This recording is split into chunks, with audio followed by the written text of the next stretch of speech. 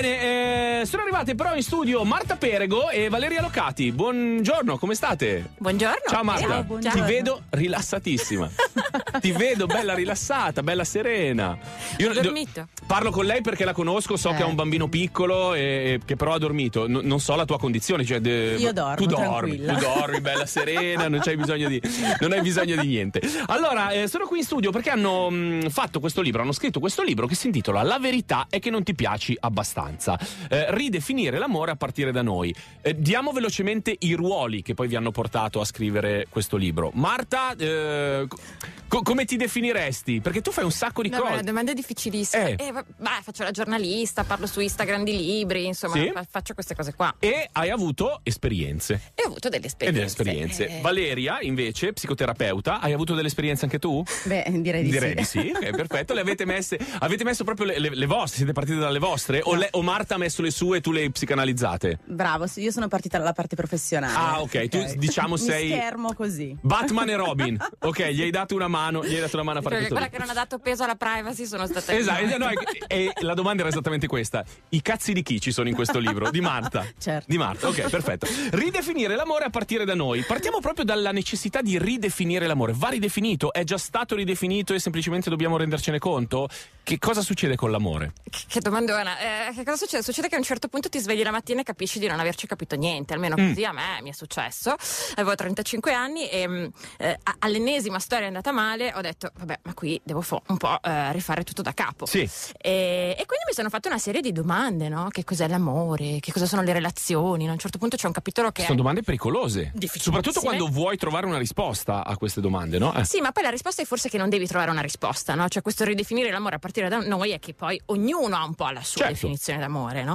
E, e quindi, sai, guardando la mia storia, guardando le storie dei miei amici, c'è un capitolo che è l'amore ai tempi dell'aperitivo, no? Sembra Sì. quasi che ormai le relazioni no, sono sempre più difficili no, da, da realizzare, quindi mi sono fatta una serie di domande, ma è, è un problema di oggi, un problema che c'è sempre stato, cioè l'amore È un problema geografico anche, cioè la città influisce? Io ho messo un po' di sì, cioè non lo so, forse sì, forse Cioè, no. a però- Milano è più difficile coltivare una storia d'amore rispetto ad altre città, rispetto alla provincia. Non lo so, ah, io ehm, ho fatto queste riflessioni non tanto sull'amore quanto su- sui figli, perché a un certo punto mi sono reso conto che tutti i miei amici della provincia coetanei avevano figli, tutti i miei amici milanesi della mia età non avevano assolutamente figli, perché Milano è questo gigantesco specchietto per le allodole, per cui ogni giorno della tua vita tu dici oggi è andata così, ma domani potrebbe andare meglio, e domani potrebbe andare meglio, e vivi in questa attesa costante che arrivi quello che tu sogni, che poi.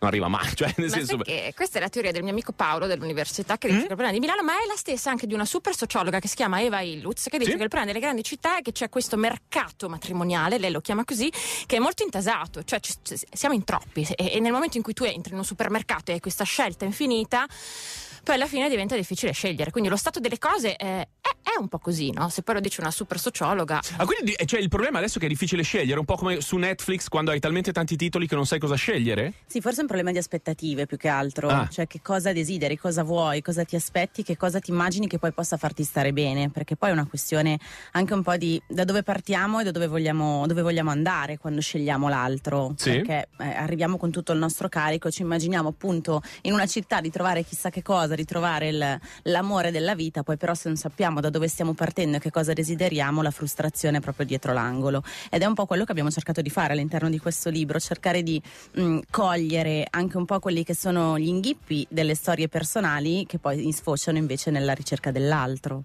E io adesso non vorrei fare una delle cose che odio di più sono le statistiche del quartierino, no? Cioè quelli che fanno una statistica come se fosse mondiale ma basandosi sul proprio condominio, no? Cioè nel mio condominio tre persone fanno così, quindi tutto il mondo fa così.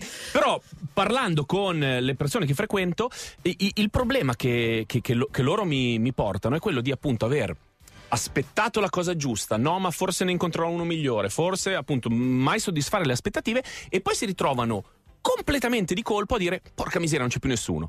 Sì, che è un po' quello che è successo a me, però il tema è forse smettere di aspettare questa cosa giusta, ribaltare lo sguardo invece che continuare a guardare fuori e dare la colpa a, chi sta fuori, guardarsi un po', guardarsi un po' dentro, no? Guardarsi un po' dentro. Che cosa, che Ad- cosa vuoi davvero. Adesso andiamo avanti a parlarne. Il, eh, il titolo è La verità che non ti piace abbastanza, citazione di, di un film, la, La verità è che non gli piace abbastanza. Per me, al- a livello di fantascienza, lo metto vicino a Star Wars, quel, quel film lì. Walter mi diceva prima, io non l'ho mai visto, ma vai avanti così, non ti, non ti far distrarre. Mettiamo una canzone e poi torniamo a parlare di amore. Deda Fabri Fibra, Universo su Radio DJ. Questi giorni sono pagine La verità è che non ti piace abbastanza. Marta Perego e Valeria Locati sono qui con noi. È uscito da un mesetto abbondante, quasi due, quasi due ormai. Eh, stavamo prima mh, cogliendo la citazione di questo film, un film femminile. Film femminile. Ma sì, oddio, Dai, un film, fi- dai, femminile, adesso non usare questi Beh, termini. ne- dai, nella misura in cui Sex and the City è un telefilm femminile. Beh, beh, sì, allora, se la vuoi mettere così, però è un po' per tutti, diciamo. no? Cioè, te la vuole un po' spiegare sull'amore. Sono quei, sai, quei film, è uscito nel 2009, era quel Cioè, un periodo. po' per no, tutti, cui- perché adesso bisogna dire così. Perché io, di miei amici maschi che hanno guardato Sex and the City, non ne conosco Zero. nessuno. Nessuno, Ma nessuno. parla alle donne. Parla alle donne, parla principalmente sì. alle donne. Infatti, io l'ho trovato un po' fantascientifico, eh, perché è sempre con le statistiche di quartierino. La verità è che non gli piace abbastanza. Il, il tema del film era che eh, se un, un uomo non ti chiama è perché non gli piace abbastanza. In realtà un uomo finché vede uno spiraglio ti chiama sempre, sempre, ti chiama sempre. È per quello che lo trovavo un po', un po' fantascienza. Questo libro parla a tutti, Questo libro sì, vuole ma principalmente c'è una gonnellina, che poi non vuol dire niente, perché anche le gonnelline ormai parlano a tutti e va benissimo così. Però è, è un po' femminile, cioè mondo, mondo Eh sì, ma femminile. forse perché le donne, se vogliamo proprio dirla così, si fanno un po' più di domande. Sì, no? si interrogano un po' di più. Sì, sì, sì, un po' sì. di più, arrivano a un punto della vita in cui dicono: Ma forse devo un po'.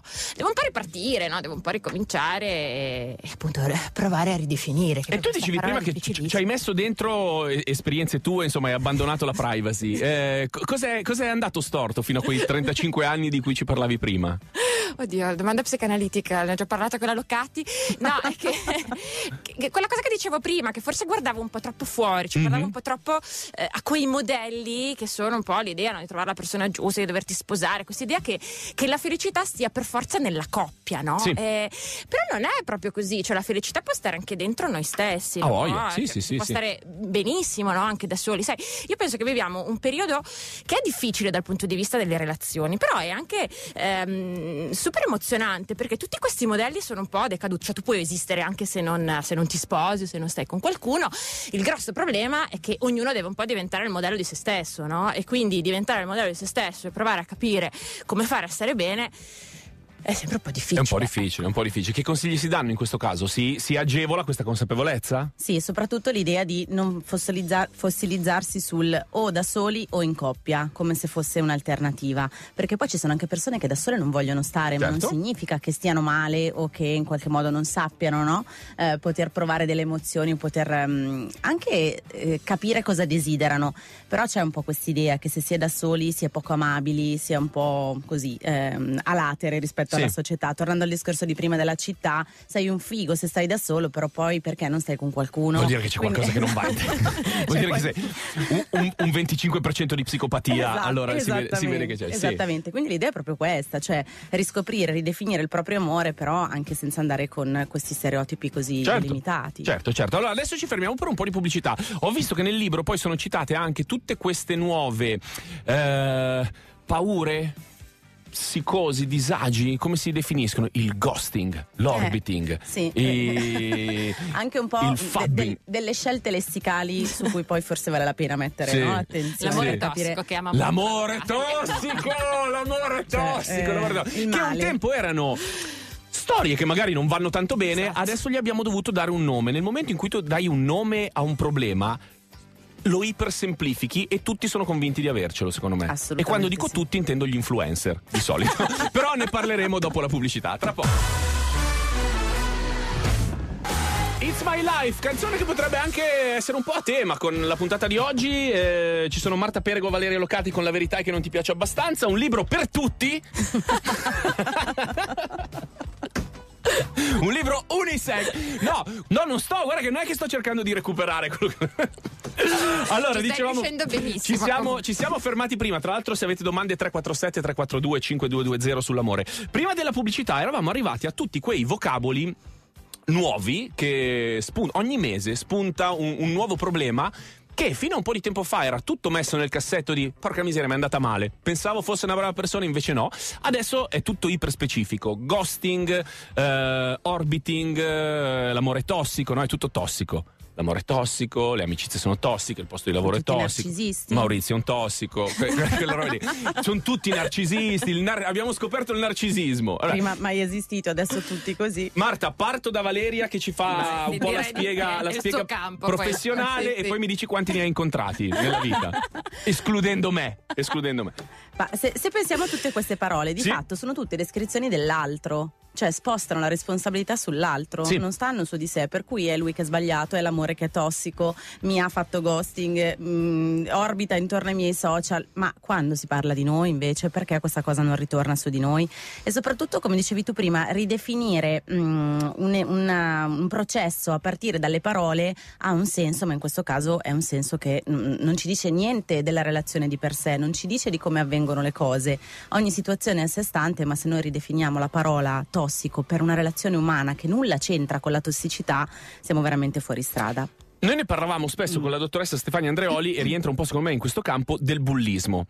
Da quando il termine bullismo è stato completamente sdoganato, diventa che ogni presa in giro a scuola è bullismo e lei ci spiegava che il bullismo ha delle caratteristiche di eh, reiteratezza, reiterazione, Iterazione reiterazione, tra pari. di reiterazione tra pari, cioè è, è una cosa che ha, ha bisogno di ehm, Caratteristiche specifiche, Esatto, per essere definito. Altrimenti diventa che la prima volta che uno torna da scuola mi hanno detto cretino, ah, fanno bullismo a mio figlio. No? In queste cose immagino sia la stessa dimensione. Assolutamente sì. Per- prendiamo l'esempio del narcisista. Sì. Il narcisismo è un disturbo di personalità che ha delle caratteristiche per cui si possono avere dei tratti narcisistici, ma dire all'altro che è un narcisista solo perché ci ha mandato un po' a quel paese o perché si è, fatti, si è fatto i fatti suoi o ci ha tradito per quanto eh, si Sì. possa essere No, no, arrabbiati. certo, certo. Però non è narcisismo, Il quella è ghosting un'altra cosa. non mi risponde. Eh vabbè. Sì, No, il rischio è che poi eh, diventi un po' un trend, no? Che se non ce l'hai, allora ti Eh, no, infatti adesso devi avere ghosting, No, devi avere devi go- avere il eh, sì. l'orbiting, che è cosa. L'orbiting, l'orbiting che cos'è? Vuol dire è uno Ce ne che sono tanti però che fanno orbiting. È uno che non ti risponde più su WhatsApp, se lo chiami non ti risponde, però Cioè, ogni volta che non- fai una stories la visualizza immediatamente Cioè, prima ti degli altri. Quindi non fa veramente parte della tua vita, ma continua un po' a girare intorno. Sì. Cioè, ve- capisci che ti sta tenendo Sì, sono d'occhio. i classici Oh, ex che vedi tra i primi Sì. dieci che visualizzano le stories. Sì, Insomma, il- è un po' questa roba Ti qua. mettono i like su Esatto. il like di mantenimento. si chiama così. Ma tu le hai fatte tutte, quindi per quello sei. No, certo, certo, io sono- ma, ma No, prima era una roba. Esatto, la dice Prima, lunga rispetto ovviamente, al fatto però- che c'è sempre stata Sì, questa no, cosa, no, esatto, esatto. Tu le hai mai fatte? Anche sì, tu, sì, certo, certo. poi la domanda che ci facciamo anche io e Valeria, che non è che sono solo gli altri, cioè facciamocele noi anche queste domande, perché poi cioè, tante volte sei tu che puoi rientrare all'interno no, della definizione del narcisista, eccetera. Sì, poi appunto più le rendiamo comuni, più è probabile che riguardino anche noi, assolutamente. Allora, ci sono arrivate un po' di domande, ve, ve le giro così proviamo a dare un po' un- una ridefinizione dell'amore. Eh, a settembre nel mio ufficio è arrivato un nuovo responsabile e flirtiamo parecchio, con ottime ripercussioni sulla mia rendita lavorativa, quindi fa anche bene al lavoro. Sono sempre allegra e piena di energie. Mi chiedo se sia il caso di proporgli un appuntamento o lasciare la situazione così com'è, tenendo conto che è il mio capo. Urca, qua ci sono tanti fattori. Quindi, eh, lei va a lavorare, non è successo niente con questa persona, però solo il fatto di flirtare, di flirtare come quando andavamo a scuola, no? Cioè, quando c'era una che ti piaceva, andavi a scuola più felice, no? Quindi va a lavoro più contenta. Lei dice: lascio la situazione così o approfondisco? Perché se poi approfondisce e questo ti fa ghosting, ti fa orbiting, eccetera, E poi ha potere E ha del- pote- ah, il giusto, perché eh, c'è anche il eh, tema del eh. tuo capo che quindi ha potere. Cosa, deve- cosa succede? Ah, bellissimo, come se ci fosse un Una, consiglio. una soluzione. No, no. Guarda, noi facciamo così il giovedì: prendiamo pezzi di vita importanti della gente con una superficialità incredibile, gli diciamo cosa devono Ecco, fare. però smonti tutto il mio lavoro sui social. Io cerco di, di dare- di fare domande e non di dare risposte lineari. No, valuterei la questione del potere, che mi Mm. sembra la cosa più importante in questa situazione. Ok. Perché poi dopo lei ci deve stare con questa persona, poi la loro relazione prosegue. Quindi Sì. che connotati ha questa cosa poi? Chi poi ne paga le conseguenze? Nel Fare caso in cui domanda. poi vada male. Eh. Come vengono gestiti i, i cocci di questa, di questa relazione? Cioè, si è anche in grado di poi superarla in maniera. Chi lo sa? Eh, chi lo sa? Eh, tu, tu- tu, persona- ascoltatrice, lo saprai. Quindi Quali rispondi- sono le caratteristiche? Risponditi da sola. Ho 26 anni e un fidanzato da quasi 6. Lui è davvero pieno di qualità, ma mi sembra di essere sempre fermi allo stesso punto. Ad esempio, non si parla mai di andare a vivere insieme e ci vediamo per lo più nel weekend. Dovrei lasciarlo? Eh, che, che domandona. Lui è un Eh, milanese, secondo lui è me. milanese. Lui è milanese. Sicuramente, Pen- sicuramente. Pensa tiene di- lì? di- tiene lì e dice, beh, magari stasera vado a fare l'aperitivo e ne trovo un'altra. Ma non lo so, di- lì la domanda è, dipende co- cosa vuoi tu. Cioè, stai bene lì eh, così ad aspettare oppure no? Se non stai bene, eh, valuta, magari... Ma poi soprattutto nel vorrei andare a tu. vivere insieme, dovrei lasciarlo. Eh, Cioè, ce ne sono... Ci sono- mezzo, ci Esistono sono delle cose. cose. Poi hai 26 anni. Ma infatti dico un'altra cosa che forse potrebbe andare Mm. contro, non, non questo libro nello specifico, ma un po' in generale. Come dicevi tu, nel mezzo c'è una serie infinita di cioè non è tutto bianco o nero e soprattutto la risposta è quasi sempre, eh beh lo saprai tu, cioè dipende. Come mai da un lato è tanto chiara questa, questa dimensione, dall'altro negli ultimi anni appunto c'è sempre più intervento di esperti, eh, contestualizzatori di, di- di situazioni, così. Se poi alla fine la, la risposta è quasi sempre, beh, cerca di capire, guardati dentro, parla con te, cioè, mm, come diceva quello, la risposta è dentro di te, però è sbagliata, però è sbagliata, però la risposta è un po' sempre dentro di noi. Guarda, faccio il discorso che facevi prima del, del quartierino del condominio, lo faccio un po' con la Mm, mia esperienza sì. professionale, che insomma no- statisticamente, mh, come dire, ha una piccolissima percentuale nel mondo scientifico. Però mh, mi sembra di osservare il bisogno di avere delle coordinate, cioè di, ehm, tr- di disorientamento, di una marea di informazioni e anche una marea di possibilità, di libertà, quello che dicevi tu prima, no? viviamo in- in- in questa società in cui tutto è più possibile rispetto a prima perché abbiamo una conoscenza maggiore, ma questo determina molto spesso l'incapacità di trovare, anche di, di rischiare un po' di trovare la propria definizione, la propria strada. Per cui se chiedo, se ascolto, se pedissequamente imito ehm, e ripropongo quello che mi è stato in qualche maniera no, raccontato, poi forse sto facendo giusto. E però torniamo lì, per- perché io non posso pensare di poter anche lavorare su di me, capire che cosa, da dove arrivo, cosa mi serve, cosa voglio. Certo. Poi magari gli altri li ascolto. Ma anche per ispirazione posso prendere, perché no? Poi magari anche leggere mi fa bene. Però, caspita, se non parto da quello che sono io, difficilmente poi riesco a muovermi. Giusto, giusto. Posso giusto. sparare la Certo. citazione? Perché Simone de Beauvoir diceva una Mm. cosa molto bella, cioè Chi è, una donna- scusami? Simone de Beauvoir, la filosofa Sì? esistenzialista, Non no? conosco, sì. diceva, eh, quella che stava con Sartre, Ok. eh, diceva No, dice in galera, no, avrà fatto sarà, sarà anche un non c'è più. Non c'è più, esatto, sarà anche passata a miglior vita. Lei parlava tanto di libertà e Sì. diceva una donna libera non è per niente una donna facile, cioè in realtà è molto più difficile dover decidere no, per te, cioè il fatto che no, sai che ti devi sposare, c'hai Certo, questa certo, tappa, certo. quest'altra tappa, no?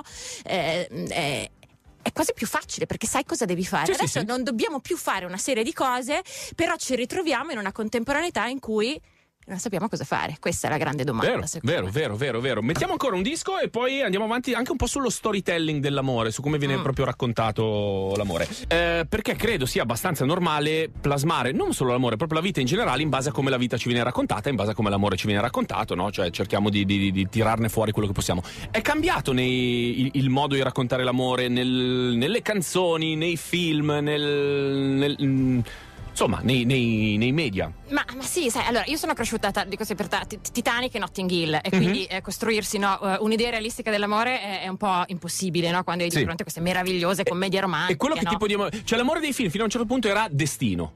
Sì, era un po' quello, era no? Cioè, fortuna, se- era- se sei de- salvifico. Era salvifico, Sì. era proprio l'idea un po', un po' della fiaba, no? Sì. Eh, fortunatamente adesso le cose, so- fortunatamente, sfortunatamente, no, dipende cosa ti piace, però eh, co- no, è vero, sono un po' cambiate se ci pensi, no? Le serie televisive più seguite dalle ragazze cosa sono? Sono Fleabag, per esempio, di una Certo. ragazza che un po' si salva da sola, Mrs. Maisel, che è una delle mie eh, preferite, Sì, anche sì. lei, no? una ragazza degli anni 50 che a un certo punto viene lasciata dal marito e poi ritrova se stessa nella, facendo la stand-up comedian, no? E- e- ed è cambiata la narrazione, cioè va incontro un po' a questa cosa qua, no? del eh, trovare il modo di piacerci abbastanza, di costruirci e poi magari trovare qualcuno eh, che ti piace davvero, con cui insomma, stare insieme e accompagnarsi, no? non per forza che eh, nell'idea no, un po' del cavaliere della principessa ti deve salvare. Concordo. Hai, hai altro da aggiungere, Valeria? No.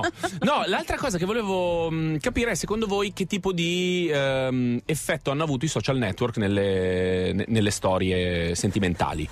Noi parliamo tantissimo di Tinder sul, Sì? sul libro, nel Sì, libro. L'avete Eh, usato? L'avete mai usato voi Tinder? Avete fatto in tempo? Marta, No, l'hai tu mai usato? Non proprio Tinder, un altro social. Sì, mi- cioè, Sì, comunque le- sì, gli incontri. boh, io Boh. ho usato sì Bumble, ma non Ma so, non- sì, ok, perché sì, c'era dico- meno gente. Ma è divertente, cioè Mhm. io l'ho usato poco perché poi dopo ho incontrato la persona con cui poi ho fatto un figlio, quindi era difficile. Però insomma, eh, no, la, la cosa incredibile è che poi ho trovato eh, persone, no? eh, si pensa che chissà che cosa succedano all'interno, invece in realtà ci sono persone normali che sono eh, alla ricerca di qualcosa, È ricerca un, no? agevolatore di occasioni per incontrarsi. Sì, diciamo. però ha questo effetto strano che poi sortisce quasi un senso di colpa su chi lo usa. Come dire, Beh, sì, po', è l'ultima spiaggia. Sì, cioè, sì, non ce lo fa- sì, sì, soprattutto le generazioni un po' sì, più le sì. nostre. Dice, no, forse, però io no? in realtà ho dovuto. Sì, è un po' come Sì, dire sì. no, sono arrivato lì e quasi non lo- se scoppia l'amore, difficilmente poi raccontano che è stato su Tinder, come se È ci fosse una certa reticenza. Noi in radio, nel, nel nostro pubblico, abbiamo da anni proprio gente che si è conosciuta ai tempi ancora sulle chat, Eh, cioè esatto. su, su sì. internet, in quel senso lì, sui forum, sui blog, così poi hanno iniziato a, a raccontarsi. E- e- ed è un, un- un amore diverso rispetto a quello che nasce vis-à-vis. eh, È semplicemente più accelerato, la cornice in cui ci si muove è già una cornice di- do- dove togli tutta la parte di conoscenza, ci incontriamo, ci, ci vediamo, ci scopriamo, sei interessato a me o meno, con Tinder è abbastanza semplice, no? Che- Cioè ci diamo un Sì. appuntamento e poi vuol dire che lì qualcosa accadrà, poi a vari livelli. Ma quando si parla di social e amore, di solito si intende sempre amori cominciati con i social. I social, però, ne fanno anche finire più di Urca, prima, no? eh Cioè, sì. nel senso, mm, ti, ti aiutano a iniziare, però Eh, in maniera esponenziale ti prima, aiutano, eh, ti aiutano a, sì. a farli, a farli finire. Perché comunque è un terzo all'interno della relazione, no? cioè la possibilità di, di non controllare molto spesso ehm, il palcoscenico su cui stai e su cui si muove l'altro e, e quindi poi c'è, c'è anche un, un pubblico che magari all'interno di un'altra relazione che non si muove sui social invece difficilmente c'è. Quindi Mm, mm, mm, mm. ha questa- questo mm, gioco proprio di, accele- di ritmo diverso, propone un ritmo diverso alla relazione. Sì, oppure anche di controllare troppo, Mhm. cioè seguire la persona esattamente tutto quello che fa, no? Cioè, soprattutto all'inizio di una relazione uno ha la sua vita e va avanti, no? Perché devo avere qualcuno che no, mi controlla costantemente su quello che devo fare, no? Quindi altera forse un po' anche questa fase di, di conoscenza, Sì, sì, sì, sì. stata. Mauri, guardo te con gli occhi a punto interrogativo. Disco? Sì? Disco, ok, allora vi salutiamo ragazzi, siete proprio brave, brave, brave. Grazie, Cioè, grazie, proprio scusa. bello, un piacere, un piacere avervi ascoltato. Marta Perego, Valeria Locati, la verità è che non ti piace abbastanza, lo trovate in libreria, ridefinire l'amore a partire da noi. Grazie mille. Grazie. Grazie.